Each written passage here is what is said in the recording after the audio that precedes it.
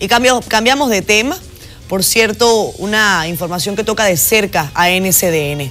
El segundo tribunal colegiado del Distrito Nacional declaró culpables a los acusados por el asesinato del comunicador Claudio Nasco. Giovanna Núñez nos cuenta. El tribunal halló culpables a Luis Manuel Ponciano, Joel Emiliano y Oscar Pérez de asesinar de múltiples heridas de arma blanca al periodista en un hecho ocurrido en diciembre del 2013. El tribunal entiende que las pruebas valoradas en su conjunto le demostraron lo siguiente.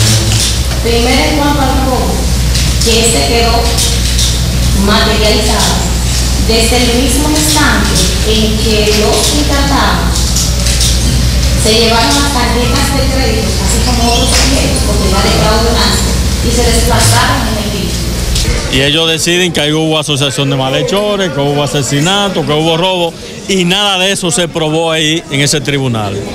Se recuerda que el tribunal decidió dividir el juicio en una primera fase sobre la presentación de pruebas, la asistencia del hecho y la participación de los acusados, y la segunda fase a las penas a imponer a los imputados.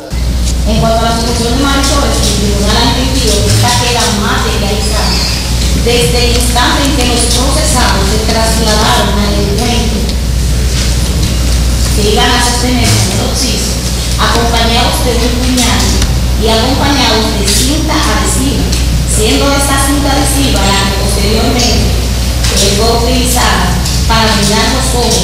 Estamos complacidos por la decisión que el tribunal ha dado. Siempre esperamos justicia y justicia se ha hecho. Yo creo que en este momento Claudio Naco comienza a descansar en paz. El tribunal fijó para el próximo 5 de agosto el conocimiento del juicio, donde se establecerá a cuántos años de prisión serán sentenciados cada uno de los imputados en el crimen del comunicador. Giovanna Núñez, NCDN.